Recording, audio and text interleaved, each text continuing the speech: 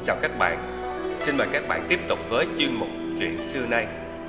Nguyễn Trung Trực, thủ lĩnh đánh tàu địch trên sông. Là một trong những văn thân sĩ phu yêu nước, lãnh đạo nhân dân ta chống thực dân Pháp nửa cuối thế kỷ 19 ở Nam Bộ.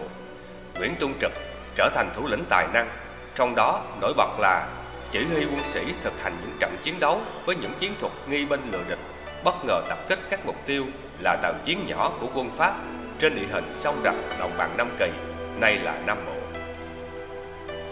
Nguyễn Trung Trực sinh năm 1838, nguyên quán ở xóm Lưới, thôn Vĩnh Hội, tổng Trung An, huyện Phục Cát, trấn Bình Định. Nay là thôn Vĩnh Hội, xã Cát Hải, huyện Phục Cát, tỉnh Bình Định.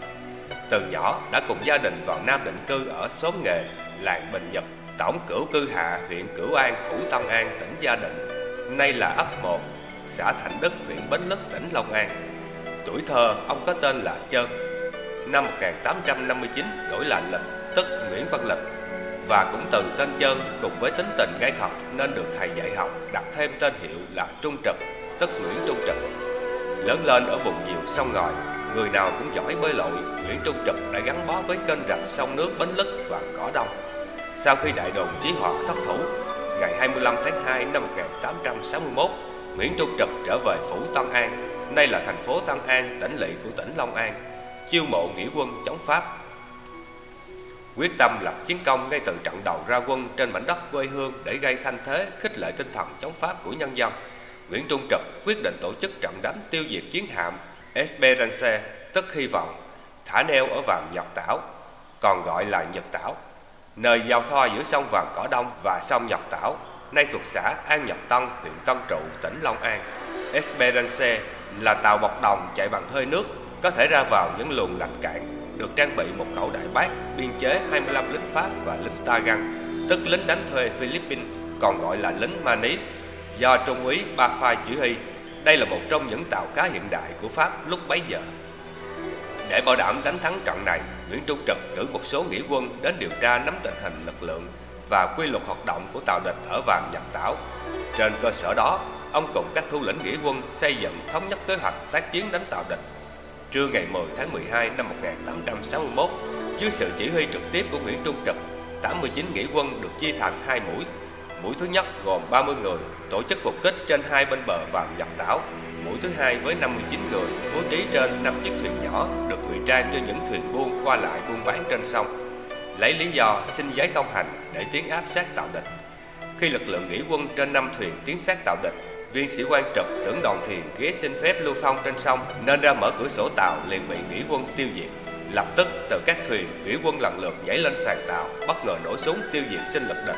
Sau đó phóng hỏa đốt cháy chiến hạm Esperance. Hầu hết quân địch trên chiến hạm bị nghĩa quân tiêu diệt, chỉ còn 5 tên, hai lính Pháp và ba lính Tagan may mắn thoát chết nhờ trốn trên một chiếc ghe. Trong lúc chiến hạm địch bị nghĩa quân trên sông đốt cháy thì bộ phận nghĩa quân hai bên bờ cũng đồng loạt nổ súng tiêu diệt gọn toán địch án ngữ tại vàng Nhật Tảo. Trận Nhật Tảo chứng tỏ Nguyễn Trung Trực là người chỉ huy mưu trí, táo bạo và sáng tạo. Với chiến thắng Nhật Tảo, Nguyễn Văn Lịch tức Nguyễn Trung Trực đã thực hiện được mục đích là gây được tiếng vang lớn vào thời điểm lúc bấy giờ. Bởi đây là lần đầu tiên lực lượng khởi nghĩa với những vũ khí thô sơ đã chủ động tiến công và giành thắng lợi trọn vẹn trong một trận đánh trên sông một trong những hình thức tác chiến chủ yếu ở khu vực địa bàn sông nước Nam Kỳ. Thắng lợi của trận đánh này đã tạo niềm tin, khí thế chống Pháp cho nghĩa quân và nhân dân, đồng thời gây nổi kinh hoàng, bối rối cho quân Pháp khiến chúng thường xuyên phải lo đối phó. Cũng từ đây, thanh thế của Nguyễn Trung Trực ngày càng lan tỏa khắp các vùng sông nước Nam Bộ. Chính người Pháp cũng phải thừa nhận rằng Nhật Tảo là một sự kiện đau đớn làm cho người An Nam phóng chống và gây xúc động sâu sắc trong lòng người Pháp ghi nhận công lao của Nguyễn Trung Trực chỉ huy nghĩa quân thắng trận Nhật Tảo, triều đình Huế ban sắc phong cho ông chức quản cơ và bổ nhiệm trong coi tỉnh Hà Tiên. Phản Úc trước việc triều đình Huế ký họ ước nhâm túc 1862 các ba tỉnh miền Đông Nam Kỳ cho Pháp. Nguyễn Trung Trực không rời ba tỉnh miền Đông mà đứng hẳn về phía nghĩa quân và nhân dân đẩy mạnh hơn nữa các hoạt động chống Pháp. Kinh nghiệm sáng tạo của trận Nhập Tảo tiếp tục được Nguyễn Trung Trực vận dụng chỉ huy hiệu quả trong một số trận đánh trong đó điển hình là đánh tạo địch trên sông Tra, sông Bến Lức. Kế tiếp trận giặc Tảo, ngày 16 tháng 12 năm 1862, Nguyễn Trung Trực quyết định đánh tạo địch trên sông Tra, đoạn chảy từ làng Đức Hòa đến làng Hữu Thanh, đổ ra tả ngạn vàm cỏ đông, nay thuộc xã Hữu Trạch, huyện Đức Hòa, tỉnh Long An. Sau khi điều tra nắm tình hình địch hoạt động trên dòng sông Tra và hệ thống đồn bốt địch bố trí trên hai bờ sông, Nguyễn Trung Trực một lần nữa tổ chức nghĩa quân thành hai bộ phận để đánh địch như trong trận Vàm giặc Tảo. Trong đó, bộ phận thứ nhất gồm nghĩa quân cải trang được bố trí trên những ghe thuyền chuyên buôn bán qua dòng sông. Trên thuyền có đại bác thần công, khi đến gần bất ngờ tập kích vào những tàu chiến Pháp tuần tra trên sông Tra.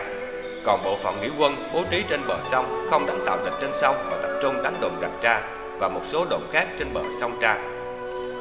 George Tavolet, một tác giả người Pháp cho biết khái quát kết quả của trận này. Ba chiếc tàu tuần tra và nhiều đồn bốt địch bị đánh chiếm như đồn rạch Tra gần Sài Gòn.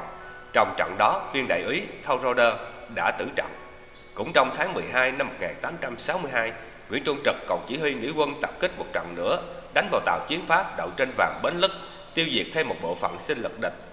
Tư liệu về hai trận đánh tàu địch trên sông Tra và sông Bến Lức để lại còn quá ít ỏi, nhưng qua các trận đánh trên sông nước từ Nhật Tảo đến sông Tra và Bến Lức chứng tỏ tài chỉ huy của Nguyễn Trung Trực không chỉ đưa quy mô trận đánh phát triển lên bước mới mà còn thành công về nghệ thuật tổ chức chỉ huy hiệp đồng chiến đấu giữa lực lượng trên sông và lực lượng trên bờ trong một trận đánh trên sông Rạch Nam Bộ. Kể từ khi giành thắng lợi ở Bến Lức cuối năm 1862 đến giữa năm 1868, với uy tín và tài thao lược chỉ huy các trận đánh trên sông nước thắng lợi, Nguyễn Trung Trực được nhân dân nhiều địa phương ủng hộ, đã chỉ huy nghĩa quân để mạnh hoạt động khắp các vùng Rạch Giá, Hà Tiên, Phú Quốc, khiến Pháp lo sợ phải tìm mọi cách đối phó và chịu một số thiệt hại. Đến tháng 9 năm 1868, Nguyễn Trung Trực bị quân Pháp bắt ở Phú Quốc khi bị địch đưa vào trạch giá xử tử ngày 27 tháng 10 năm 1868, Nguyễn Trung Trực đã dõng dạc nói thẳng trước quân thù. Bao giờ người Tây nhổ hết cỏ nước Nam thì mới hết người Nam đánh Tây. Sự nghiệp cầm quân của Nguyễn Trung Trực chỉ tồn tại 8 năm 1861 đến 1868 nhưng đã thể hiện rõ tài chỉ huy nghĩa quân đánh tạo địch trên sông Rạch đồng bằng Nam Bộ. Đó là nghệ thuật phối hợp chặt chẽ giữa tác chiến trên sông nước và trên bộ giành những thắng lợi liên tiếp trong các trận vào nhập Tảo, Sông Tra, Bến Lức, gây thiệt hại lớn về sinh lực, phương tiện chiến tranh, tạo sự hoang mang dao động về tinh thần đối với quân Pháp xâm lược. Hàng năm, tại đền thờ Nguyễn Trung Trực ở Rạch Giá, Kiên Giang, vào các ngày từ 27 đến 29 tháng 8 âm lịch, nhân dân tổ chức lễ hội kỷ niệm ngày mất của ông. Từ các địa phương ở Nam Bộ và trên khắp cả nước, các tầng lớp nhân dân lần lượt kéo về để tỏ lòng biết ơn, ngưỡng mộ sâu sắc đối với vị anh hùng của dân tộc, góp phần động viên khích lệ nhân dân ta, nhất là thế hệ trẻ, giữ gìn và tiếp tục phát huy truyền thống yêu nước của ông cha, quyết tâm bảo vệ vững chắc Tổ quốc. Đại tá tiến sĩ Dương Đình Lập đăng trên sự kiện và nhân chứng